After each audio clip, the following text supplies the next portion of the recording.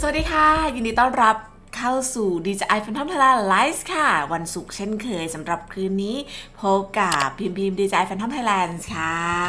สวัสดีทุกท่านค่ะ ในการเลือกโดรนสักลำหนึ่งเพื่อใช้งานนั่นเองค่ะสำหรับโดรนในแต่ละรุ่นที่เป็นรุ่นคอสโรทั่วไป หรือรุ่นลูกค้าทั่วไปที่จะใช้งานได้เนี่ยแต่ละรุ่น มันจะมีสเปคแล้วก็ข้อแตกต่างกันออกไป บางรุ่นอาจจะแตกต่างน้อย บางรุ่นอาจจะแตกต่างเห็นได้ชัดเลย เกี่ยวกับขนาดภาพ ขนาดวิดีโอ แล้วก็ขนาดของตัวลำคราวนี้เสร็จสำหรับลูกค้าที่เป็นเรียกว่ามือใหม่ในการจะเลือกจับโดรนตัวแรกในชีวิต หรือว่าจะมีโดรนลำหนึ่งไว้ในครอบครองเนี่ย ก็จะตัดสินใจค่อนข้างยากนิดนึงค่ะ ว่าจะใช้ตัวไหนดี เอ๊ะบวกไปอีกนิดนึงจะได้ตัวนี้ เอ๊ะหรือลดลงมาหน่อยเราใช้แค่ฟังก์ชันบางฟังก์ชันพอประมาณ วันนี้พิมพ์เลยพยายามที่จะเอาสรุปสเปค ซึ่งทาง Phantom Thailand ได้ทำไว้ให้แล้วมาอธิบายให้ฟังกันนิดนึงนะคะ แล้วก็แนะแนวการเลือกโดรนสักรำ สำหรับรุ่นที่มีจำหน่ายในปัจจุบันก็จะอยู่ในสเปคที่พิมพ์ขึ้นไว้ณตรงนี้เรียบร้อยนะคะ ก็จะมี DJI Mini 2 ค่ะ Mavic Air 2 DJI Air 2S Mavic 2 Zoom แล้วก็ Mavic 2 Pro นั่นเอง ที่จำหน่ายในรุ่นที่เป็น customer ทั่วไปหรือลูกค้าทั่วไป ซึ่งตัดสินใจซื้อแค่ 5 ตัวนี้พอค่ะ แนะนำเลยว่าสำหรับ 5 รุ่นนี้ยังมีจำหน่ายอยู่อุปกรณ์แบตเตอรี่ วัสดุที่จะเป็นเรียกว่าพาร์ทในการเปลี่ยนหรือการซ่อมเนี่ยยังมีจำหน่ายอยู่ปกตินะคะ มีการ service ปกติไม่ต้องห่วงเลย5รุ่นนี้เวลาจะตัดสินใจค่ะ อย่างแรกเลย ดูงบประมาณก่อน งบประมาณของเราถ้าเกิดเป็น ใช้งานทั่วๆไปแล้วไม่ได้ใช้ในลักษณะที่ต้องการเก็บไฟล์ภาพและวิดีโอ ซึ่งมีความละเอียดสูงๆ ในการเอามาทำเป็นพวกการถ่ายทำบางทีทำ vlog หรือว่าพวกบล็อกเกอร์ค่ะ ยังใช้ตัวเล็กเลยด้วยซ้ำคุณภาพไฟล์อะมันเกี่ยว แต่ว่าการตัดต่อในโปรแกรมหรือว่าในแอปพลิเคชันทั้งหลายเนี่ยมันช่วยเราได้ค่อนข้างเยอะนะจุดนี้ และเนื่องจากว่านามสกุลไฟล์ของเขาอย่างโดรนตั้งแต่มินิทูขึ้นมาเนี่ย เดี๋ยวนี้เขามี RAW ไฟล์แล้ว แล้วก็มี D-Log ให้เราทุกรุ่นเลยด้วยซ้ำแต่แค่ค่าสีเขาไม่เหมือนกันค่ะ Color Profile เขาจะต่างกันออกไปนิดนิดนึงนะคะ ถ้าเกิดไม่ได้ใช้มากในระดับภาพยนตร์หรือว่า ไม่ได้ใช้มากในระดับที่แบบเรา grading สีไม่เป็นเนี่ย เอาจริงๆเลยตัวเล็กพอละค่ะ ไม่ต้องไปหาตัวแบบใหญ่ๆ ถึง Mavic 2 Pro สำหรับรุ่นลูกค้าทั่วไป เพราะฉะนั้นเวลาเราจะตัดสินใจซื้อโดรนสักลำอย่างแรกเลยแนะนำว่าดูงบประมาณชาติบ้านเมือง แล้วก็การอนุมัติของผอบอที่บ้านนั้นเอาชีวิตจริงมาพูดเล่น จริงๆแล้วงบประมาณเป็นสิ่งสำคัญค่ะ คราวนี้เสร็จพอเรามีงบประมาณ แนะนำว่า เลือกดูว่าชุดส่วนใหญ่ตั้งแต่ 3 รุ่นแรก DJI Mini 2 Air 2 แล้วก็ Air 2S เนี่ยเขาจะมีซิงเกิลกับ combo ค่ะ ซึ่งถ้าเกิดเราดูจากงบแล้ว แล้วเราตัดสินใจซื้อโดรนรุ่นใดรุ่นหนึ่งแล้ว ถ้าซิงเกิลเนี่ยมันจะมีแบตแค่ก้อนเดียวถ้าเรามั่นใจว่าเราบินแค่รอบเดียวพอในระยะเวลาประมาณ 30 นาที บินจริงมันจะได้ประมาณ 20 กว่านาทีค่ะ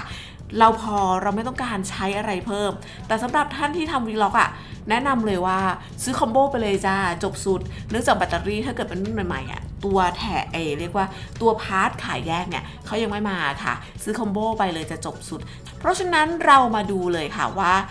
ที่พิมพ์บอกว่า 3 ตัวนี้มันไม่ได้ต่างกันอ่าห้าตัวสิ 5 ตัวนี้จริงๆแล้ว มันไม่ได้ต่างอะไรกันที่ การใช้งานเนี่ยในฟังก์ชันมีความต่าง แต่พื้นฐานการบินของเขาเหมือนกันค่ะ ขึ้นลงเดินหน้าซ้ายขวาบนล่างเหมือนกัน ที่จะต่างของเขาก็คือเกี่ยวกับเซ็นเซอร์ของกล้อง เซ็นเซอร์ของตัวลำ ขนาดใบพัด ระยะการบิน แล้วก็เรื่องเกี่ยวกับ Color Profile ฟังก์ชัน ฟังก์ชันนี่เป็นส่วนที่ช่วยเสริม ถ้าเกิดใครได้ใช้งานฟังก์ชัน บางฟังก์ชัน มันก็โอเคค่ะ แต่ถ้าเกิด บางท่านซื้อมาแล้วมันเกินตัวหรือ advance ไปนิดนึงก็ไม่ต้องใช้ก็ได้ เพราะฉะนั้นใช้ตัวเล็กก็เพียงพอ เรามาเริ่มต่อในเรื่องเกี่ยวกับสเปคของโดรนอย่างตัวถ้าเป็นลูกค้าทั่วไปที่ไม่ได้ใช้โดรนบ่อย ใช้โดรนแค่บางครั้งในการออกทริปหรือว่าเอาว่าง่ายๆช่วงนี้ช่วงโควิดว่างค่ะมีสวนมีไร่อยากจะบินเล่นบินเพลินถ่ายรูปกับลูก ถ่ายรูปกับครอบครัวยินดีค่ะ ถ่ายรูปกับลูกถ่ายรูปกับครอบครัว หรือว่าเอาไปถ่ายแบบรีวิวสวน รีวิวรีสอร์ทซึ่งไม่ได้ต้องการเก็บไฟล์อะไรที่มันเยอะแค่ถ่ายรูปอย่างเดียวเลยเนี่ยในตัว Mini 2เนี่ยค่ะช่วยได้เยอะแล้วค่ะ Mini 2มีเซ็นเซอร์ค่อนข้างโอเคแล้วแล้วก็สามารถถ่ายภาพแล้วก็วิดีโอได้ทั้งไฟล์ JPEG RAW วิดีโอก็สามารถถ่ายได้ถึง 4K ค่ะ จริง ๆ ถ้าเกิดเป็นลูกค้าทั่วไปอะเท่าที่พิมพ์ดู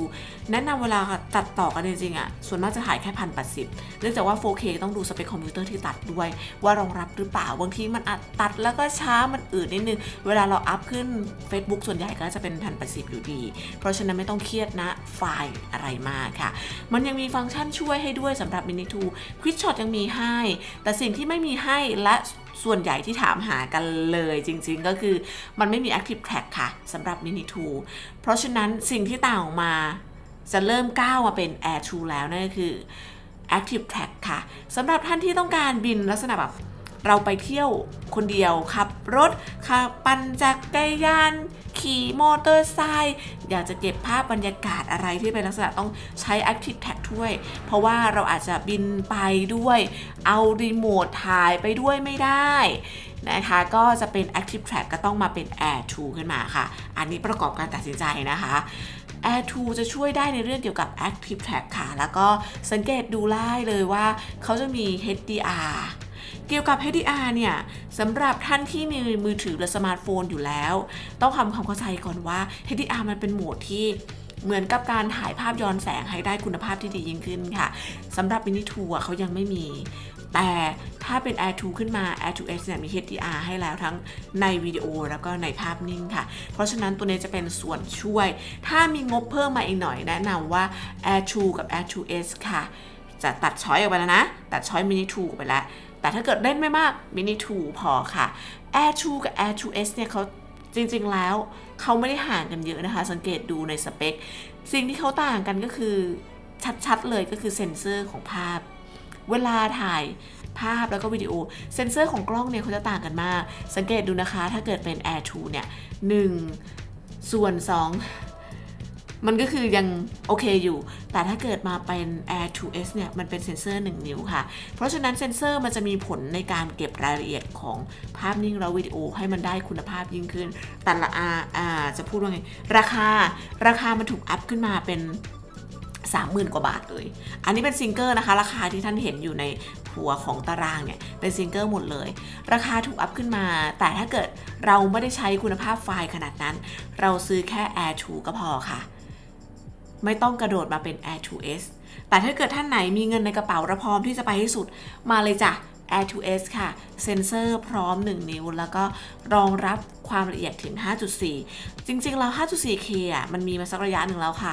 มันเรียกว่าเป็นไฟล์อนาคต ถ้าเกิดต้องการถ่าย 5.4K ก็อีกเหมือนกันค่ะ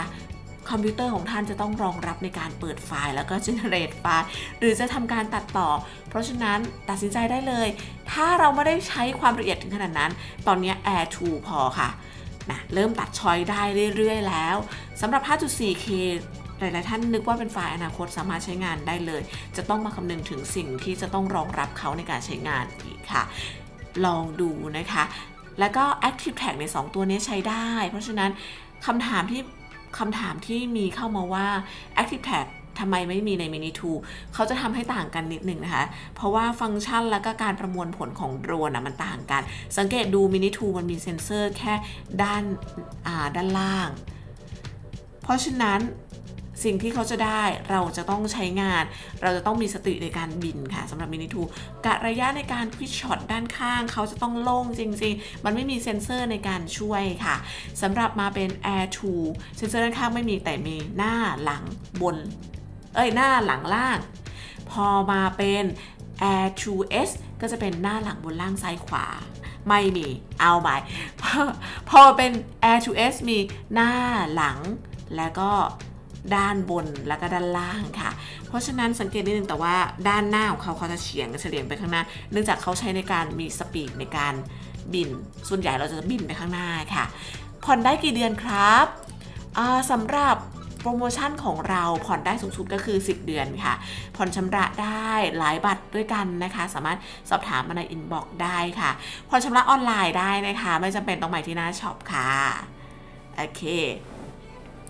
แล้วมาดูกันต่อค่ะที่ Mavic 2 Zoom แล้วก็ Mavic 2 Pro สำหรับ Mavic 2 Zoom และ Mavic 2 Pro เนี่ย ราคาที่ท่านเห็นมันคือซิงเกิลนะคะ ถ้าจะซื้อ combo เขาจะเรียกว่าไฟล์ more kit ค่ะ ราคาสังเกตได้เลยว่าจะค่อนข้างสูงตั้งแต่ได้ ตัวลำได้รีโมทได้แบตเตอรี่แค่ก้อนเดียวเนี่ย ราคาสูงมาก คุณภาพเขาได้อะไรมาเพิ่ม อย่างแรกเลยคือกันชนค่ะ เซนเซอร์เขามีรอบทิศ